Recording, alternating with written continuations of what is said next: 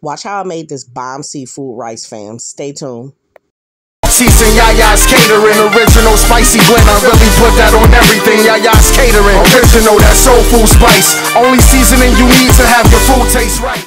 Hey, you guys, make sure you hop over to my website to order up your all purpose seasoning, free shipping on all orders. What is popping, my YouTube fam? Welcome or welcome back to the channel. On the menu today, you guys, we are going to make some seafood rice. And I'm hoping that this pan is going to be deep enough and wide enough for everything to fit in. But that's a whole nother story. So, in my rice, we are going to do some colossal shrimp. We are going to do some crab legs. And we are going to do some, ooh, hold up, y'all. Jumbo scallops. That is it. I'm not going to do any sausage or nothing like that. I just want straight up seafood and rice. Oh, yeah, y'all. And I also seen this at the grocery store. I always pass it, and I'm like, let me try it. So I'm not doing before the food police hop in the comments. I'm not doing a traditional, authentic, I think you pronounce it paella, okay, which is a delicious Spanish dish.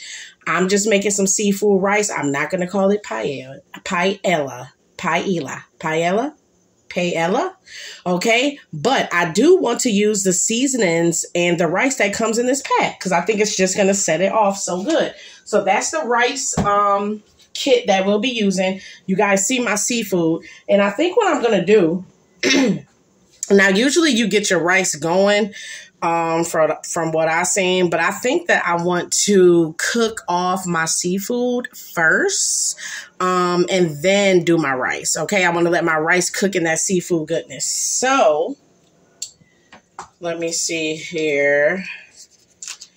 Now I have on one glove because I my now this is so weird, y'all, because let me tell y'all something about me.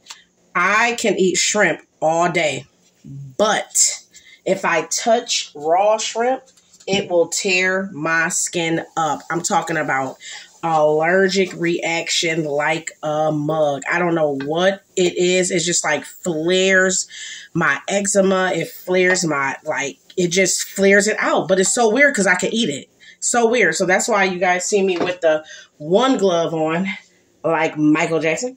But let me give my shrimp. My shrimp is already cleaned and washed. Let me just give it one more good rinse. And we are going to get these bad boys right in here. And like I said, y'all, pretty boring stuff. I'm about to sear off my shrimp and I'm going to sear off my scallops. The crab legs, I think I'm going to wait until um the I'm going to wait. I'm going to wait for the crab legs because you know crab legs come fully cooked. So I'm going to wait with those and do those at the last minute when I add everything else back in. But y'all, I just woke up and had to taste for this today. I don't know why. I'm always just doing stuff, but cooking is fun. Cooking is fun. Cooking is fun and cooking is therapeutic, at least for me. I don't know about you, but at least for me. So our shrimp is in. Nice little fat babies. Turn my fire up a little high. Boom, boom. And I'm going to, because I could have did this before. I have no idea why I didn't, because I'm talking too much probably. Now I could take off my one glove. But y'all, I forgot to season it. I do want to hit it with a little bit of seasoning. And I'll show you guys what I'm using. I am using some, ooh, there you go. Seafood seasoning Creole bomb. That Badia, that Badia, man, they know they could make it. I'm telling you. We're going to keep it right in the family and go in with some complete. Okay. And we are also going to do a sprinkle of Old Bay. And we just gonna let these bad boys cook. And right in this same pan, I'm gonna add some more some more water. I'm gonna add some more um Once the shrimp is browned, I'm going to add in some more butter, sear off them scallops, y'all. So I'm not going to bore you with this process. I'll probably just speed it up for you. And I'll be back. Stay tuned. Okay, YouTube fam, welcome back. So my seafood is all cooked off right here. We'll add it back to the pot at the end. So right here, you guys, we have all that good flavor. And we are about to add in more butter. And we are going to add in our veggies, which is um, bell peppers and some shallots. Nicely small, uh, nicely diced. So we have yellow bell peppers, orange, red, and green, and a shallot. So let's add in. I don't think I'm going to need all of this. So, I, yeah, I don't think I'm going to need all of it. And I really don't want, I just want my uh, veggies to sweat just a little bit. I do not want them super mushy. I just want them to sweat down a, a little bit. And also to that, yeah, that's all I'm going to add. That's all I'm going to add, y'all. That's all I'm going to add, y'all. And I'm also going to add in some minced garlic that is already minced because I'm too lazy to mince the fresh garlic. And I love garlic. So I'm, I'm going in with two tablespoons of garlic. And like I said, I'm just going to sweat these veggies down. Oh, y'all, let me tell y'all. So I told y'all that, remember I told y'all I never used the, um, this kit, right? So I'm thinking it come with rice and a seasoning package, right? Why in the world did it come with the rice. Okay, great, right? But why it also came with the jar of seafood, y'all? No, ma'am. We are not going to use this. I'm pretty sure it is great. I'm not using that. Um, I'm not using it because number one, I don't really, I squid, I, and I don't know what cockles is, mussels. I've been stopped eating those and I don't know what hake is. Okay. I'm pretty, look at that. It got a lot of flavor in it, I'm sure. But y'all, it's in a can. Uh-uh. No. Nope. So no. I did not think that that kit was going to come with some seafood in a can, y'all. I was like, what in the world? Uh-uh. Yeah, I can't use that. I know, I know, I know it's just going, to it'll probably make it pop, but we just going to use the rice. And I'm just keeping it real. Uh-uh. So like I said, I don't want to do too much. I just wanted to get all them, see how all those good flavors came up from the bottom. So that's really all I want to do because this is also going to cook in the um, chicken broth, which we are about to add right now. So right here, I'm going in with, I'm lying. I just lied to y'all. We going in with the rice first. Going in with our rice. Booyah. And now I'm hoping, yeah, this should be enough rice. I'm being greedy. This definitely should be enough rice. So boom. Let's get out of stir. You can see the nice seasoning right here. Nice seasoning that came in with the rice. And we're just going to stir that up. Let all those flavors unite. Yes, yes. This going to be good, y'all. And it's really not a wrong way or a right way to do it. I promise you it's not.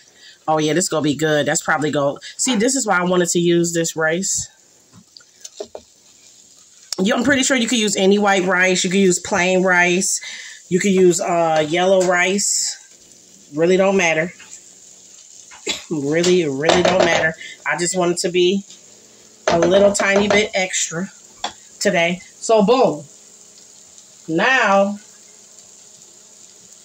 we go on in we going in with our um, chicken broth. That's two cups right there, but I am going to add two more cups.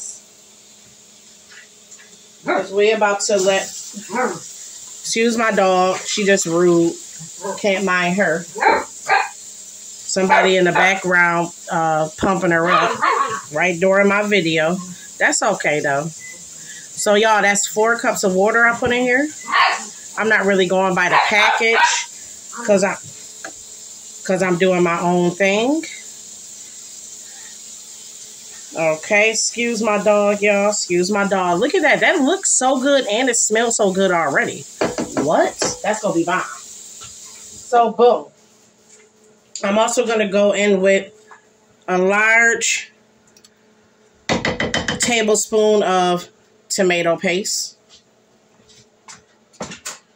Okay. Boom. And we are just going to mix that in just like that. Just like that.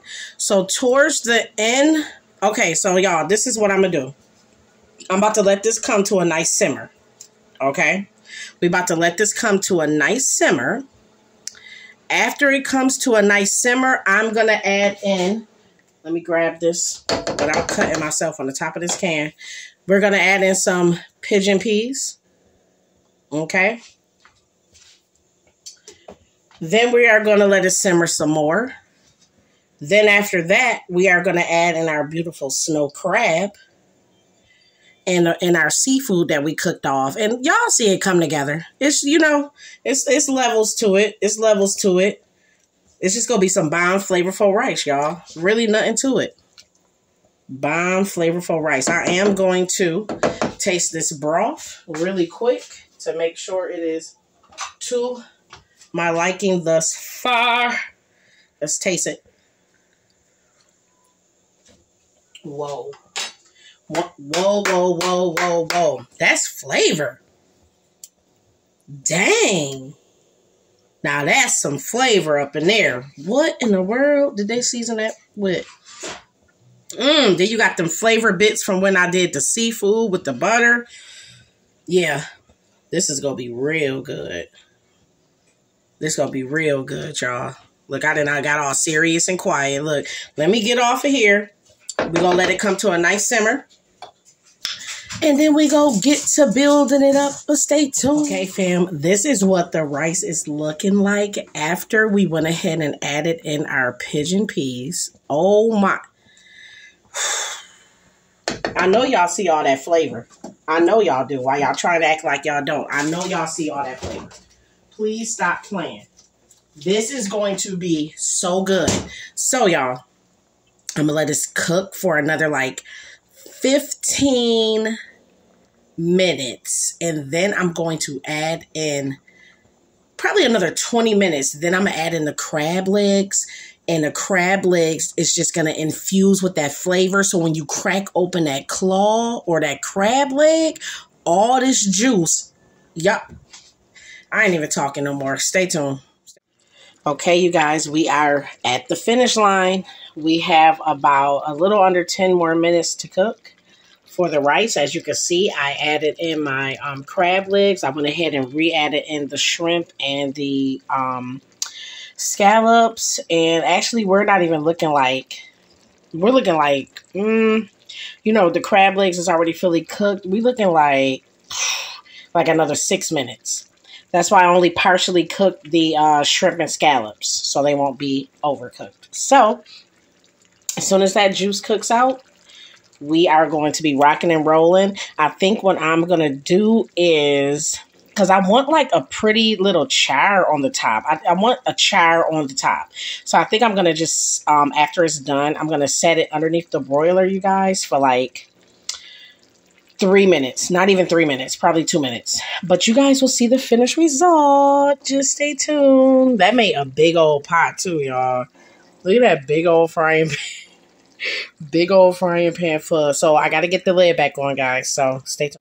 Okay, YouTube fam, here is the finished result. As you can see, I went ahead and toasted up some baguettes to go along with it, but it came out nice. It came out flavorful. Um, as it cools down, the uh, seafood is just going to be soaking up those juices. Everything came out pretty good pretty, pretty, pretty good. You see the crab, the shrimp, all that good stuff. We got a little, uh, some scallions at the top for garnish. And yes, you guys, this is what my take on seafood rice came out like. Crab legs down there. Them crab legs gonna be something crazy. them crab legs gonna be something crazy. Sure but is. you, but you guys, Waiting. thank you so much for tuning in. Babe? Cannot wait to see you until the next. Can't, babe, you messing up my outro.